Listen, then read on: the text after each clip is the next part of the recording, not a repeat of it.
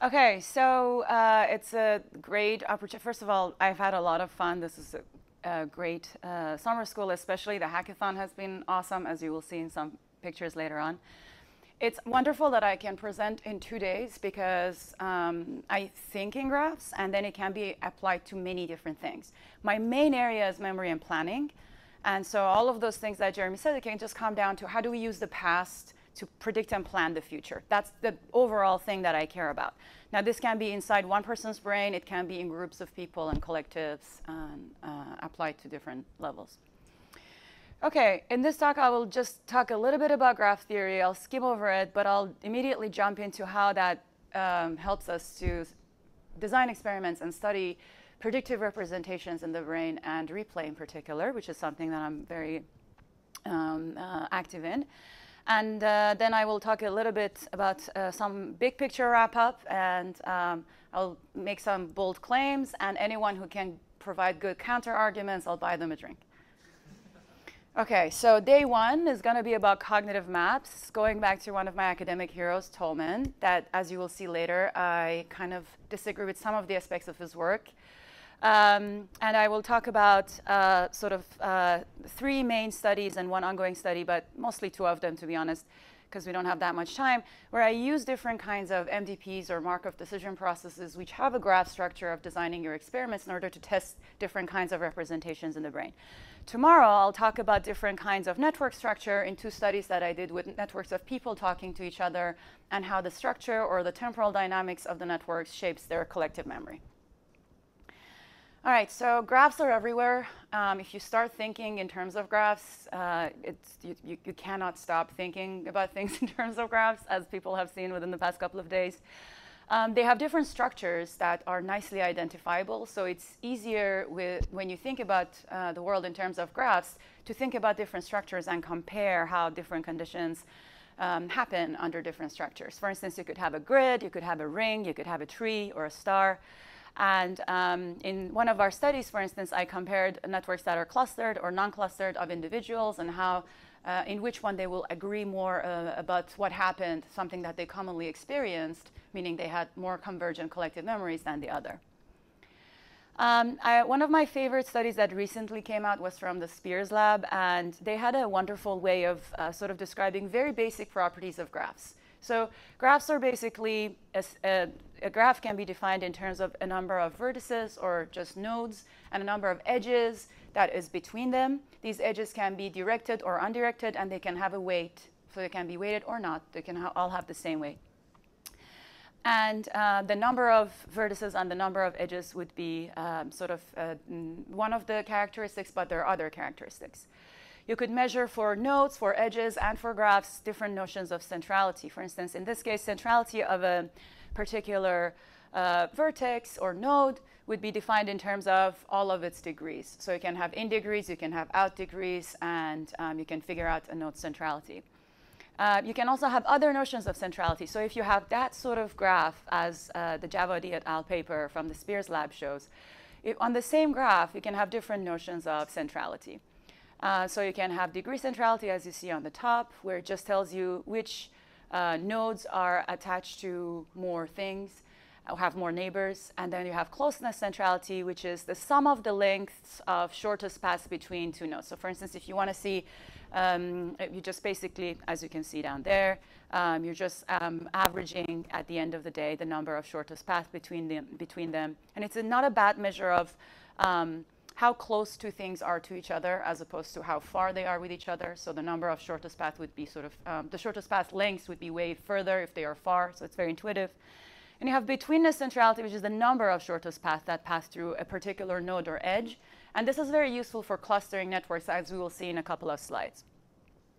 Two of my favorite kinds of centrality are eigenvector centrality and Katz centrality. Eigenvector, eigenvector centrality is basically um, the idea of the influence of some edge, meaning it's not, it doesn't have a high necessarily sort of degree centrality. It's not itself connected to a lot of other nodes, but it's connected to nodes that are connected to a lot of other nodes. So if it spreads some information, the other nodes, a lot of nodes would receive it, not because it itself has a lot of neighbors, but because its neighbors are extremely uh, well connected. So that's a very important one. And PageRank and Katz centrality, you know, Larry Page from Google, that most of what happens on your Google search and Google Map, they started off with some, uh, with figuring out these notions of centrality or similar notions to that for web pages then. How many links are there to a particular web page? Um, that would uh, sort of determine its PageRank. Then there's the Katz centrality, my, my most favorite one of them. Uh, developed in 1953, which is the relative degree of influence of a node within a network. What does that mean? It's the total number of walks between node pairs. So uh, with the sort of the GraphSMNet team, um, we have sort of discussed this a little bit. There can be different ways that on a particular graph, two nodes could um, reach each other. There are different paths that they could reach each other. And uh, Katz centrality takes into con consideration uh, the total number of walks that exist between node pairs. And so it's not just the direct connection between them, it's not just the shortest paths, it's the total number of possible walks that happen between them.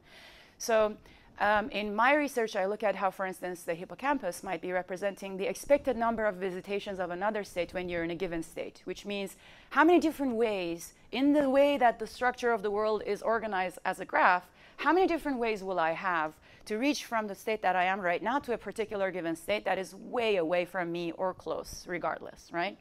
And we can see that there is different time scales to take it back a little bit to, um, to Chris's work that uh, sort of uh, we could talk about these things. Um, so remember, I talked a little bit about edge betweenness, which is an edge that if you take a lot of random walks uh, of shortest path between different nodes, you would pass through this, this edge a lot, will have a high edge betweenness a number of different edges can have the same edge betweenness. So in one of my favorite algorithms for community detection in graphs, where you can just find clustering and communities, what happens is that you basically do the simple thing of you compute the edge betweenness with whatever method you want to do, and then uh, you remove the edges with the highest score and you do it again. So it gives you a way of hierarchically, hierarchically clustering different sort of communities within that. So from something like that on the A, you reach something in the bottom, which is B. Now, both in Katz centrality and in what you see up there, I think that our team can recognize the, the sigma alpha to the L because that's very similar to a lot of different notions uh, or a lot of different equations that you will make where you want to measure how many different ways would two nodes get connected. So it's very closely related to Katz centrality and to the successor representation. That I'll tell you a little bit later.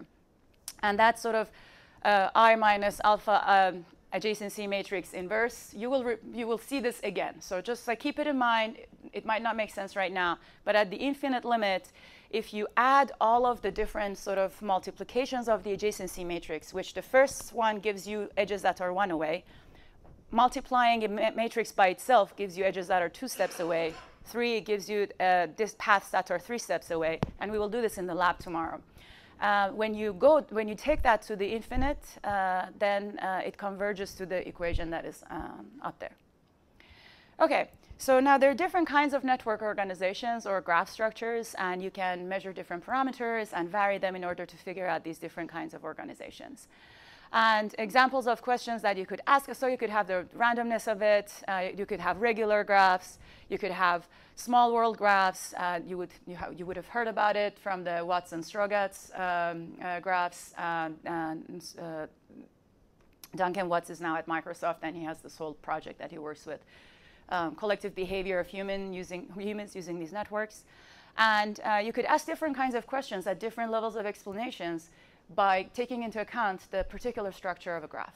You could ask, how does memory network or graph structure influence forgetting, which is what we're doing at the hackathon. Or you could ask, how does social network, how does social network structure, the structure of your social network, influence the way that our memories would be similar or dissimilar? And um, we, to which we will get tomorrow. So just a fair warning, if you get into these kinds of things, this is what happened at the hackathon within three days. One of the walls is basically renovated by the um, different kinds of uh, things that we're writing on. It's fun, and uh, it's, it's a very generative way of thinking about things. Um, the Javadi et al., just to give you a kind of perspective of how this can be applied to space, for instance, uh, uses these different kinds of betweenness, uh, centrality in order to see inside the brain how you, when you uh, sort of uh, think about different locations in London, you might be representing these things in, in the brain. I won't get into this, but I recommend taking a look at this paper. Um, now, in cognitive maps, which is my favorite thing, uh, it's not, and goes back to Tolman, of course, again, who very cleverly called his paper Cognitive Maps in Mice and Men, not spatial maps. And a lot of people for a, for a couple of decades, they kept focusing on space. Now, unlike Chris, I don't think that it's either about space or time. I think it's about any relations of states, and then we can construct cognitive distance. I will get back to this later on. So the cognitive maps are not specially about space. They're not specially about time. They're just about forming relationships between states that you have encountered. This can be a social network of people. This can be a series of stimuli you see. This can be the relationship between certain concepts, or it can be relationships between uh, locations on a map. Now, these are only a number of studies, um, including a bunch of ours, that uh, have investigated different sort of um, depths and multi-step sort of uh, ways of thinking in terms of graphs, in particularly in memory and decision making. And so I'll get into the part uh, that I have contributed to a couple of these studies. So one of uh, the things that I told you about a couple of times, and I'll expand it a little bit more with matrices, is the successor representation in learning and memory. So my basic question, like I said in everything that I do, is how do memories and predictions arise from the same neural circuits? How do we use memories to plan and predict the future? And so this is in between different fields, but at the end of the day, the question is simple in spite of the fact that it's at the, over, uh, at the intersection of a number of fields. So um, I have a, I'm very sort of blessed with friends. Um, I, have a, I have a friend, Mani, who uh, I play music with, and I have a, friend, Sarv, who makes delicious fesenjun, which is an Iranian dish with uh, pomegranates. If you ever have a friend, make them cook it for you.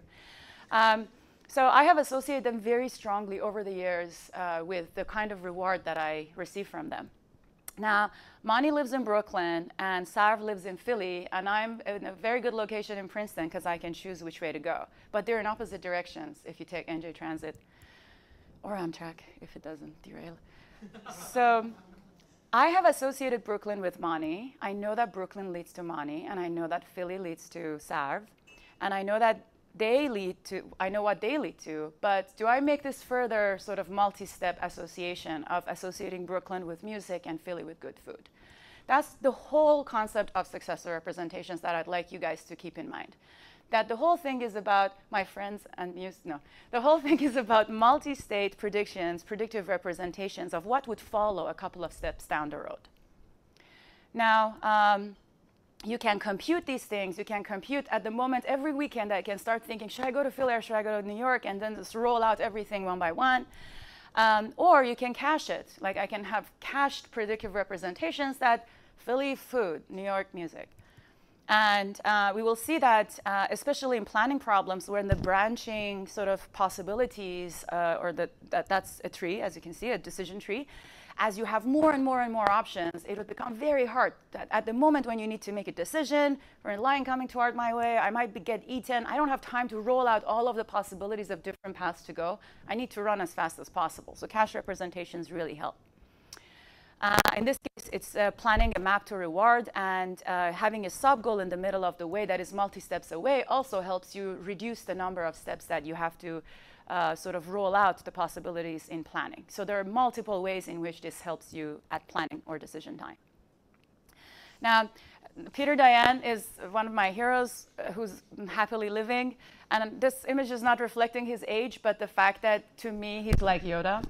And um, he had a paper in 1993 where he talks about uh, the successor representation as the appropriate generalization between states uh, that is determined by how similar their successors are, and uh, representations should follow. So, meaning if, um, um, for instance, uh, Brooklyn leads to music, and Tehran leads to music, and uh, Kreuzberg in Berlin leads to music, I will have a similar representation of them because their sort of um, their um, successor state is similar to each other. So there is a way that representations start to resemble their successors. It's uh, a little uh, the opposite of what happens in genetics. It's like parents start looking like their children, if you if you want to think about it in terms of like the sort of the um, graph theory. So that the, you would look a little bit more like things that follow you, the representations. All right, so uh, the hypothesis that we started for the studies was we wanted to test this, was that does the brain cache multi-step dependencies as in the successor representation? And just to uh, uh, have another thing, again, this would be familiar to the GraphSemNet people. As you can see, there are there are uh, these gammas. So every step you have a little discount in terms of how similar the representations are to each other or how much there is a representation of a successor state. And when you have multi-steps away, this gamma gets sort of multiplied. So if you, have if you build a machine, a reinforcement learning agent, that needs to decide whether to go to Philly or Brooklyn, as most machines have to decide, you need to figure out um, uh, the, the more further away a successor state is, the more you have a discount. Gamma is between 0 and 1. So the further it is, the less sort of similar you're going to look like it, right? And changing this gamma, as we will see later, it would be the scale of generalization or the different scale of um, sort of compression in your representations. And as I will, um, as it will become until the end of this uh, talk, I think that there's multi-scale representations in the brain. Um, I think it speaks to so, sort of work uh, by um, uh, other people too. All right, so um, what are the optimal cognitive maps? I wouldn't get into reinforcement learning. I hope that another mind uh, year there will be a whole reinforcement learning and decision making sort of uh, summer school. Um, I'm just going to say something with a couple of emojis. So uh, model-based learning is a case where I have this huge matrix of how all the states one by one transition to each other, one step to one step. And at the moment of decision, as you can see, his eyes are widened. Like you have to just completely roll out all of the steps to sort of simulate entire trajectories and do value iteration to decide what is the optimal path to take. So as you can see, he looks a little stressed out. But then if you have a successor representation learner, you can use this kind of, you know, you can telescope into future states because you have cached these multi-state representations, and you can kind of look cool and uh, relaxed. Um, so this is how it will go. This will do this, not for this branch, but for all the branches to figure out how to get to reward. This one can say, oh, I know, like approximately I can jump here, and then from here I will figure something out because it has figured out sub-goals previously that would lead it to reward. All right, now let's open the hood of the reinforcement learning agent and look at the matrices that are inside of its head. So uh, don't freak out about the matrix. Uh, uh, you have seen this uh, on, the, on the walls downstairs, similar things anyway. So, um, so if I turned all of these states that my, it was my, you know, the cities and my friends and the kind of reward and everything, if I turned everything into numbered nodes, and I put these things, it's the same representation, right? Now let's make a matrix representation of this. So and uh, let's be just like, for the simplicity, I'm not going to put probabilistic sort of uh, probability of transitions. I would just put all the probabilities of transitions one. It means that if I'm in state one, I will definitely go to state three. If I'm Philly, I'm definitely going to see Sarv. If I'm in um, state two, this is Brooklyn, I'm definitely going to see Mani. Now, if I'm in uh, three, which is Sarv, uh, then I'm definitely going to have food. And if uh, I'm visiting Mani, I'm in a state that I'm visiting Mani, I'm definitely going to have music, okay? So that's just a matrix representation um, of what's going to happen um, in the world, but one step at a time. Model-based uses this and rolls it out. Now, this is what the successor representation looks like. I'd like to, the aficionados, please take a look at this. It's beautiful. It's that thing, again, that we always deal with. Um, so the successor representation, let's call it M in this case, and let's call the transition matrix T for transition. That's M because, um, um, because Peter Dayan called it M. There's no other reason. Um, okay, so as you can see here, I have a probability. So, I'm, so this is no longer probability of transition. This is expected future occupation. So this is discounted expected future occupation. So let's say that I expect to visit state three when I'm in state one. Uh, discounted, I expect to see it gamma times. I expect to see two, um, uh, to see four when I'm in state two, gamma times. Now five would be gamma squared. Now this can be multiplied by other things like the sort of, uh, we just took the simpler case, right? So here's the things, because gamma is between zero and one, these things would be smaller than these ones. However, when I ask you, is there a path between one and five, you immediately can say yes. Why is that? Because you have that 1 to 5 cell over here. But in this case, you don't. You have to say, wait a second, let me rule things out and then get back to you, right? So that's the difference. That's the successor representation. And if you remember the Katz centrality or you remember the Girvan-Newman algorithm, you would remember that there was a similar sort of thing going on here. So there's a way that you can turn this guy into that guy. And that way is like this.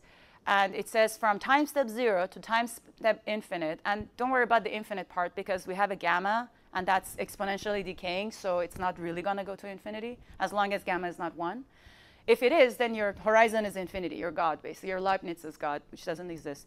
But um, in, in this case, uh, as long as gamma is not 1, you're going to be uh, something less than Leibniz's God. So, uh, and you're going to have, uh, and at, at the limit, because of the gamma, it sort of converges to this. And you can have a successor representation built of T like that. All right, now how, to, how can we test which one does the brain use? Just using behavior without looking under the hood. And we're going to do that too. But how can we test it just with behavior? Can we design experiments to just test different kind of um, representations? So model-based, one-step transition matrix, successor representation, multi-step expected future, occupancy, discounted.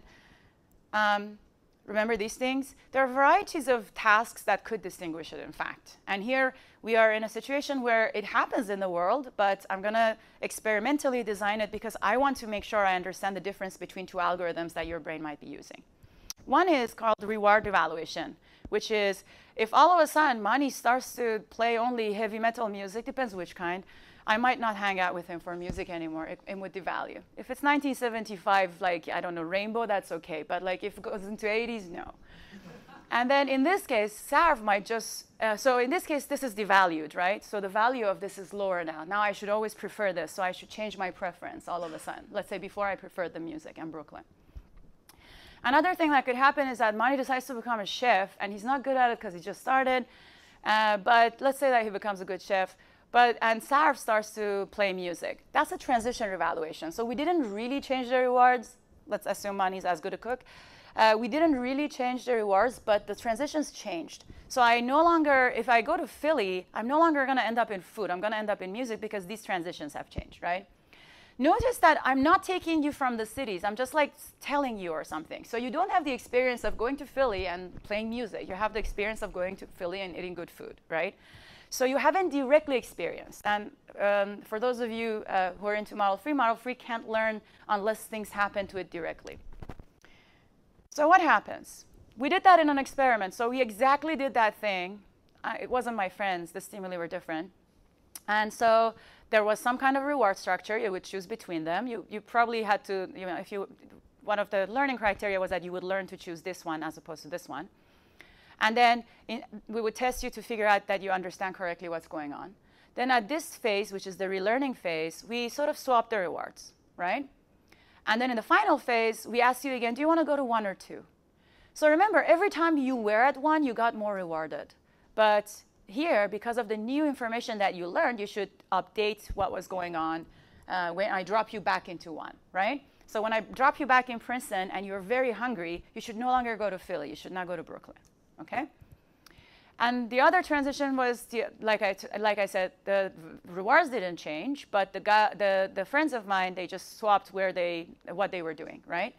So this time, if I was hungry, I could still get that 10 bucks um, from food, but it would only, but this time it will be, in, I would have to choose Brooklyn for it because it's going the other way, right? So there's two things that happened. One thing was, um, uh, two conditions that happened. One condition was rewards got changed, the value of rewards, so you would have to change the trajectory you prefer. The other case, the transition structure of the world changed, so you will have to change the, the preference you had. And we also have a control because maybe you know, our results would be because people just forgot what they did before and they randomly chose something else. So that's a very important condition. All right, now let's see what would happen in each of them. What would we expect to get out of it before I show you what the humans do? So the successor representation would say, hey, at the moment of decision, I'm going to multiply my cached multi-step representations by the vector of rewards. And then I will get the expected value of state one, which is gamma squared $10.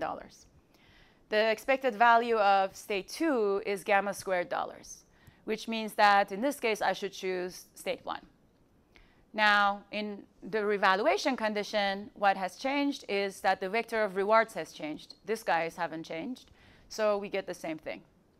Uh, we get a good prediction, and then based on that, by combining pre-computed information about representations in the space and uh, reward, without any further computation, we have immediately the reward evaluation, right? So model predictions, um, model-based and success representation are both very good at reward evaluation. They perform equally well, okay? Now, what about transition evaluation? Now, remember that in transition evaluation, you figure out that these things have been swapped. For the model, for the model base, it just changes these two things to these two things. But the successor representation, although it updates these two things, it can't update these two things because it needs to go back to one in order to be able to update those, right? So it still has this past multi-step representation that it had associated Brooklyn with, uh, with music and etc. What happens is that the pure successor representation won't do well on transition evaluation, but model-based would do equally well on both. So we would have symmetric versus asymmetric predictions based on these two different kinds of representation just from the behavior, right? Now, model free, who just says, oh, left good, right bad, but doesn't have any idea about state space, and it needs so much training to update itself, it's just going to fail at both. Multi-step expected rewards, like success representation, is going to be asymmetric, and model-based is going to be symmetrically good. However, there is this thing called um, SR, the, you know, what I have, I, I, I add replay to everything because I think it's one of the awesomest things in the world. So there's this notion of Dyna algorithms, and Dyna algorithms, you use simulated experience to train your models. So although you didn't get the chance to completely go over, uh, and this can be used to train model free as well. So traditionally, this has been in DynaQ, it has been used to train model free, okay? Because model free takes so long, and we might die if we just constantly require all that experience to update our models. Offline simulations through memory replay can help the model free to update. But another thing that it can help update is the successor representation. So it could, uh, and, and, there's another paper uh, that I will talk about. I presented it at SEMS for those of you who were there, but it's, it's being submitted very soon, like next week. Um, uh, it could also update, like, you know, dream or like, you know, sort of uh, uh, replay this and show that there is uh, sort of, the update is multi-step representations.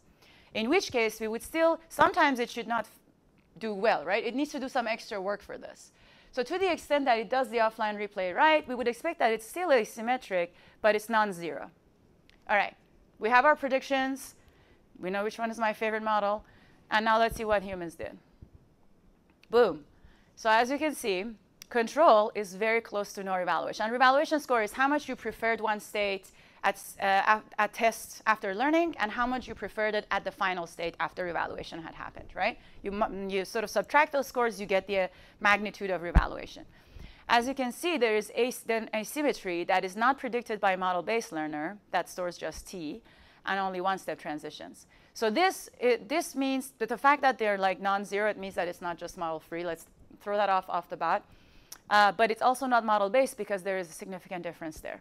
We replicated this in other studies too, which I might show you a little bit of.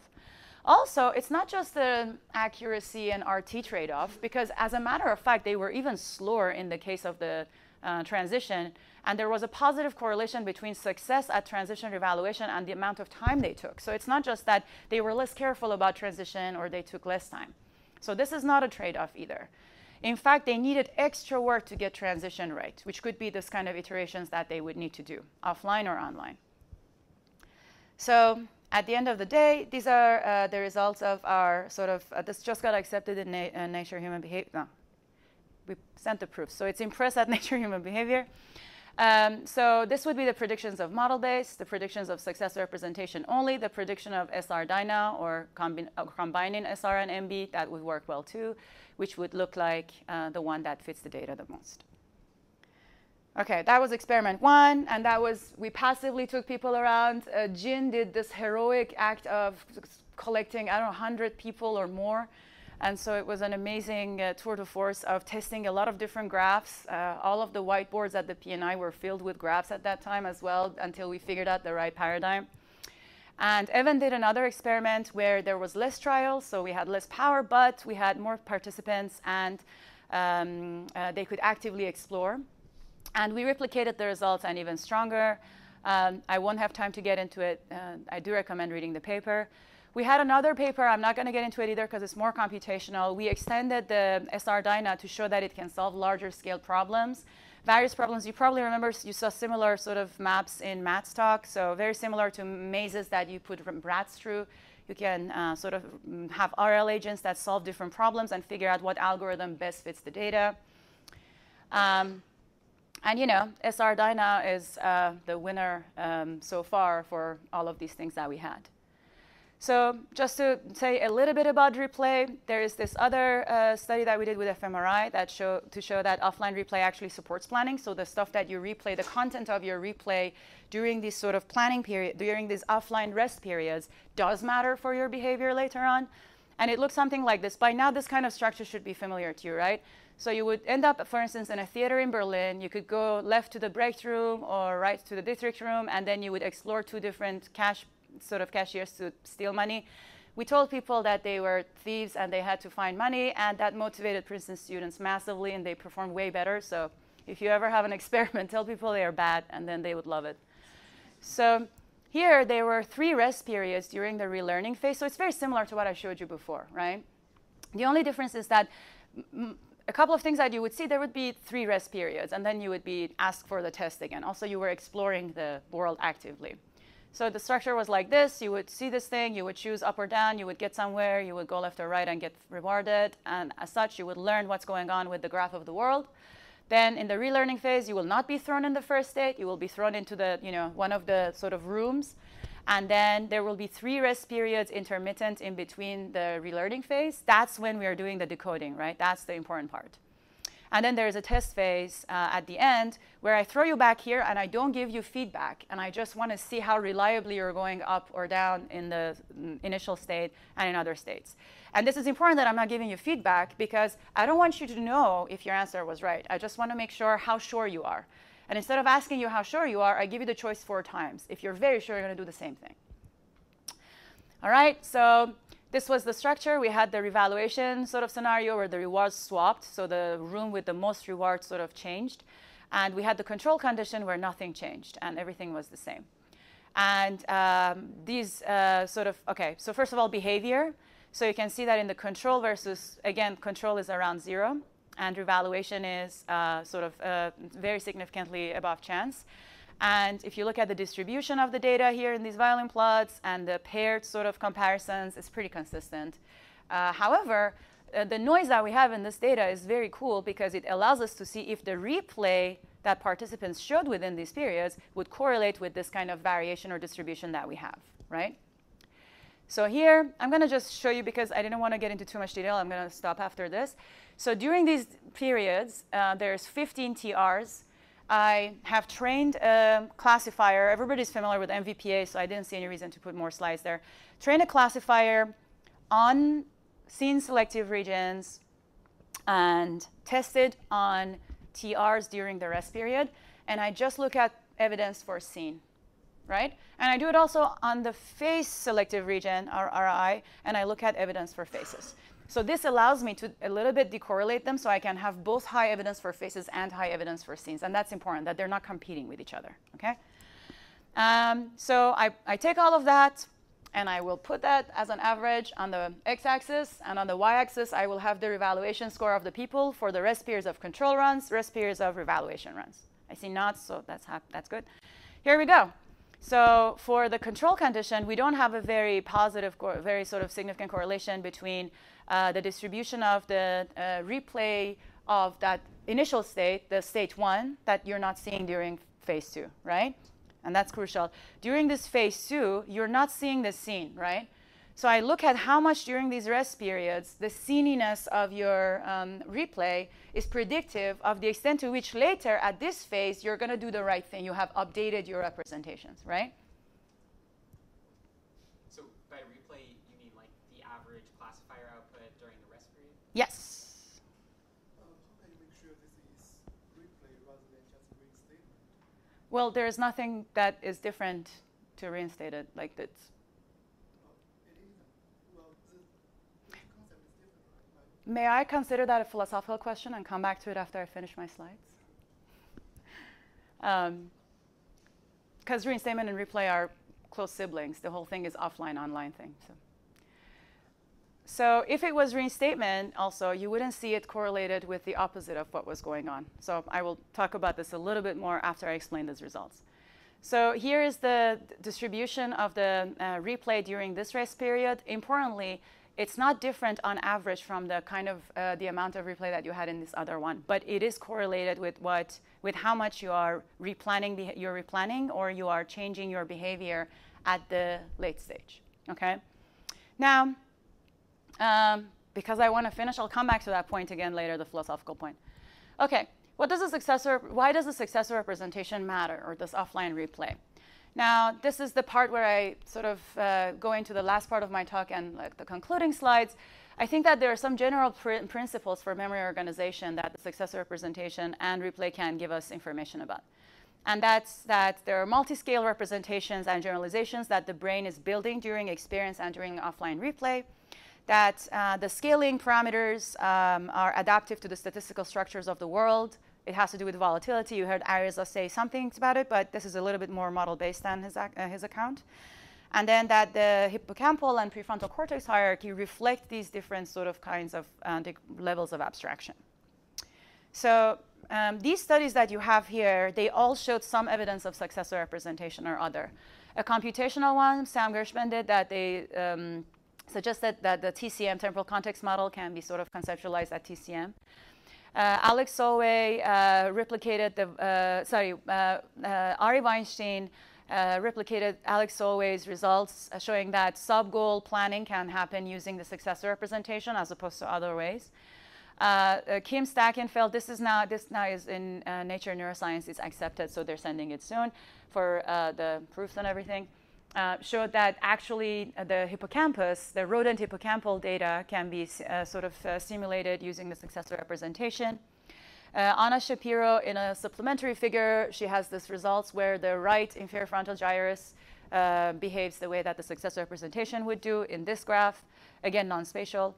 And then these are the stuff that I showed you about our work. And very recently, beautiful fMRI work came out of the Tim Behrens lab that they also showed that the successor representation uh, reflects how the hippocampus is representing a structure that they had learned implicitly and they didn't know that they're going to be tested on the structure of the world. So the brain was building the structure while you were just navigating some things without knowing that there was a structure to it.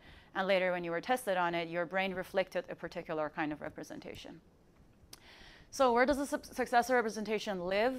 So um, we're working on it. But the idea is that uh, the PFC and hippocampus, they start sort of working together to build it. And once it gets consolidated, it might be sort of stored in lateral, um, uh, sort of temporal and parietal regions. And it can be retrieved when necessary. So it, it basically becomes semantic memory. But then it can be retrieved whenever I'm in a relevant context and reinstated in the hippocampus and PFC, so it's accessible for, uh, in, you know, for uh, operation in the sort of the intermediate term while I'm in that environment. And that might be how, if you go to your childhood house, you, you know exactly where you're going and, you know, or if you go to some building that, so I have been in this hotel like once before, and when I came back, I knew exactly where everything was. This wasn't constantly in my PFC and hippocampus active, but it was somewhere consolidated and I could just retrieve it and then it was active and I could very easily search through the space to find out where I wanted to go. And the striatum is quite important in this too because it helps tag the memories when you experience something that uh, uh, is surprising, something that violated my prediction, something that had a prediction error. And the whole sort of the replay project, I didn't get into details to it. I would love to get into more details. It has like five other figures of breaking down every rest period, explaining how it differs at every sort of uh, when it receives prediction errors, etc. And remember the gamma that I told you about? So the idea is the larger this gamma gets, the brain is integrating or generalizing or abstracting over time scales or cognitive space. And the smaller it gets, uh, you're separating, you're becoming specific, you're sort of being in a, a lower scale or fine-grained time scale. And uh, the idea is that the brain, at the same time, stores multiple ones of these things. And these would be the multiple gammas, and the steps into the future that you can predict or plan, which you could say it's the discounted scope of your agency in a way, in particular environment, would, determine, um, would be determined by this kind of gamma. Because the more volatile an environment is, um, it could be that the, lar- the smaller your sort of uh, uh, uh, scale would be, and the less, uh, uh, the more larger scales you have. During learning, you might be learning with some scales, but offline replay also allows you to just like replay the experience and builds representations at other scales. And while I'm sleeping is a great time to do this. We have some evidence about the role of sleep in generalization and integration. So it would be wonderful to um, simulate some of these effects and test them further as we are doing one of them hopefully in the hackathon. And like I said, it could be that stability and the volatility of the world, or my estimation of it, is going to sort of drive this up and down. All right? Um, there could be an optimal horizon for situations. So just to take the, the take-home message is that there is a relationship between hippocampus um, uh, and the PFC and the striatum to build them and update them and store them in the long term in temporal regions. It gives te testable hypothesis, and it's related to some work found in the Doeller lab, by Per Sederberg in the Hasson lab, and by previous work that I did during my PhD about the prefrontal hierarchy. So uh, I'm kind of sort of uh, uh, very, and also these numbers of studies below, so I'm kind of sort of uh, very optimistic about the future of this research, and I'm excited about it. Uh, in ongoing work that I won't get to talk about a lot, we show that you can construct time or cognitive distance using multi-scale representations. So um, if I want to say it in a nutshell in one sentence, it could be that there is no really, there is no time. You just build it using sort of a, a derivative of multi-scale representations. In a way, uh, I won't get into that. Just like the big picture claim is, representations are not especially about space. They're not especially about time. They are multi-scale relational representations that have different that represent uh, relations between things and structures at different levels, and um, they are cognitive maps of any relational structure, basically. And the brain can construct co cognitive various notions of cognitive cognitive distance, including time, from these multi-scale representations. Thank you.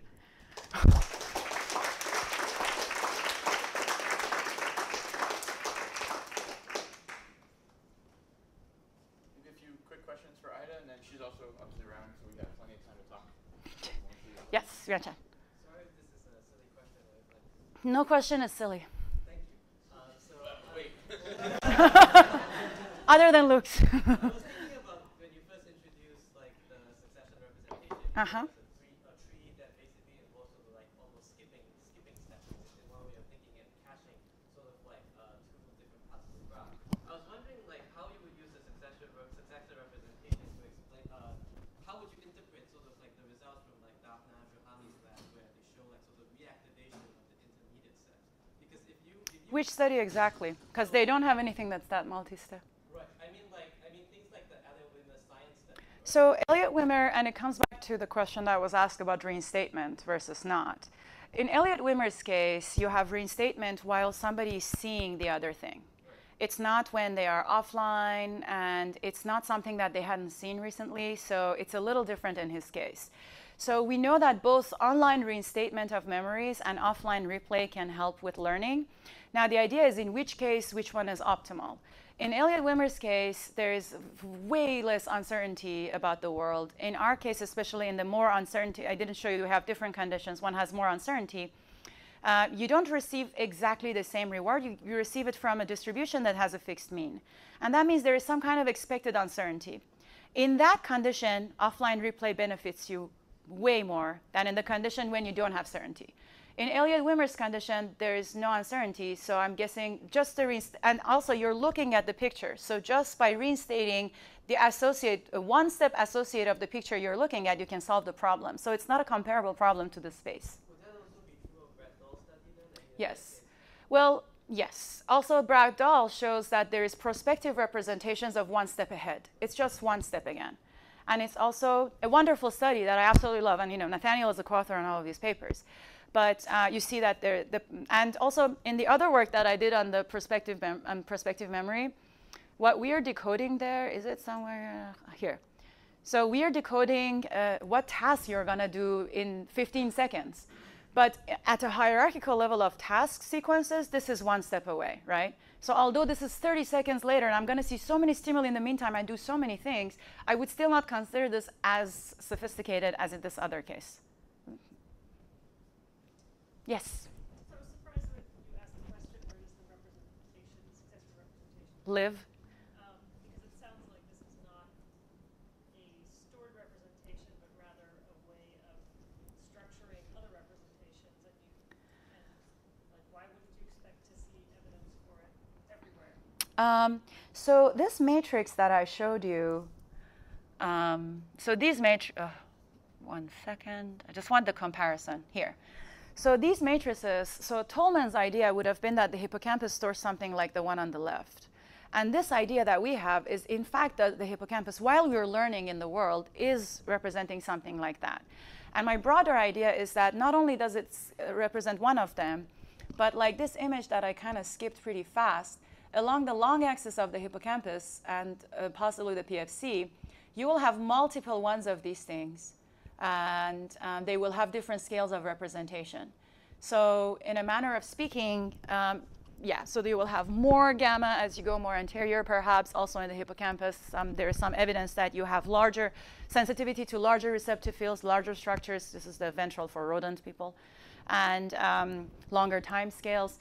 So it's not that I think it's just a, so it's not just an algorithm but it's a particular kind of matrix that algorithms that use the SR could use. So it's a claim, it's a kind of a claim about what kind of representations the hippocampus builds and uses. And I think that at larger scales, these things, um, you know, at, at larger and multi-scales, they turn into, they can be representing schema. For instance, oh, you know, airport, I do such and such, and then I had uh, shorter scales. I have to stand in line on shorter scales. I, you know, take out my passport. This is a passport. And shorter scales. Passport means I have nationality. Now we're getting into sad uh, travel ban space. So that, you see what I mean? So I do think that it's the way that representations in, across neurons are organized inside the brain. So um, I totally buy the difference between like offline and mm -hmm. the online.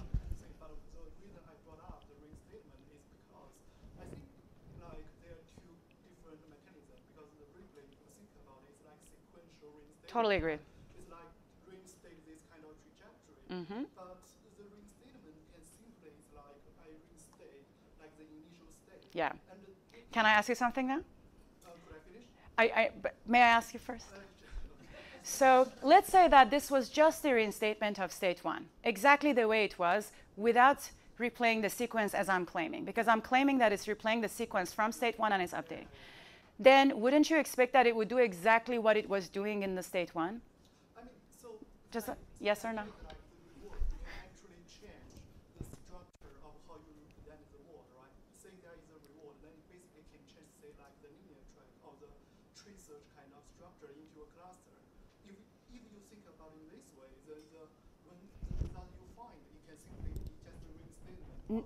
So I'm going to repeat what I said because it's the same answer. The if it was reinstating exactly so, initially, I used to go to Brooklyn for music. If I was just reinstating, oh, Brooklyn music, Brooklyn, or right, you know, the train to train to New York music, train to New York music, which is the action from state one and the reward. I was just reinstating Princeton, train to New York, right? Princeton, train to New York. That's the good stuff. I was just reinstating that. Then I should be still still taking that at the test phase. But if I was saying Princeton, train to New York, no longer music. Oh, Princeton, train to Philly music, then I should be taking the other way. And the evidence, because of the fact that they're changing their behavior, it shows that they weren't just reinstating whatever was happening just in state one in the past, but they're reinstating the trajectory, piecing together early information that there is a path from one to Philly, and the new information that Philly is the one leading to music now. So the fact that we do see this behavioral difference, the fact that we do see the correlation. So if you were, what you were saying was the case, we should have seen either a flat line or we should have seen it go this way, which is be even more consistent, persist on what I was choosing earlier because I was only reinstating state one. But behavioral evidence shows that I'm not doing what I was doing in state one. I'm doing something that only would be possible if I put state one next to the new information I had recently acquired, which was not available when I last visited state one. And so this shows that I was, I mean, it's, it's an inference, but the inference is that there must have been a sequential piecing together of information for me to update my state one behavior. I see you nod, so that's great. Maybe uh, we'll wrap up